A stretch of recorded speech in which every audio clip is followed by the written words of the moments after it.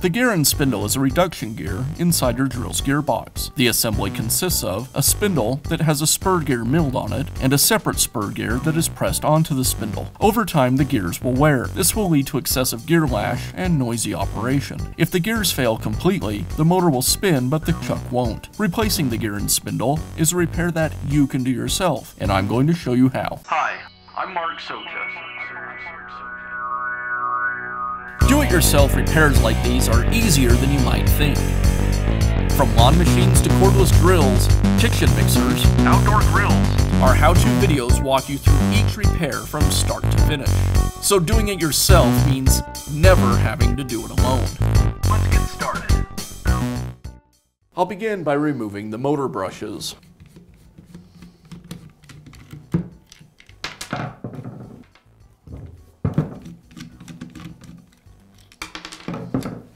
Now remove the screws that secure the gearbox to the motor housing.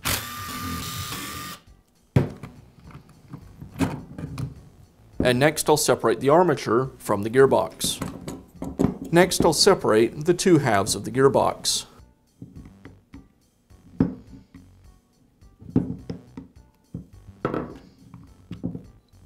Now I can go ahead and remove the first gear. And I'll remove the second gear. When replacing the gears, it's also a good idea to replace the grease in the gearbox. The grease will be full of the metal from the worn gears. If you don't replace the grease, the metal in the grease will quickly wear out the new gears. Now I can replace the gear. I'll apply some new grease to the gears and then reattach the two halves of the gearbox. And now I'll reinstall the armature.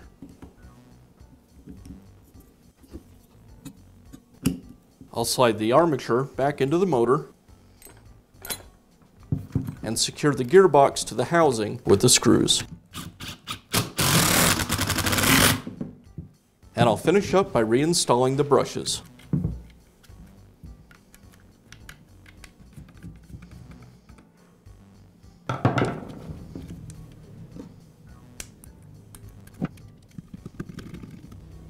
And now you know how to replace the gear and spindle assembly in your power tool. Be sure to check back often for new videos and expert advice. If you found this video helpful, give us a thumbs up. And leave a comment.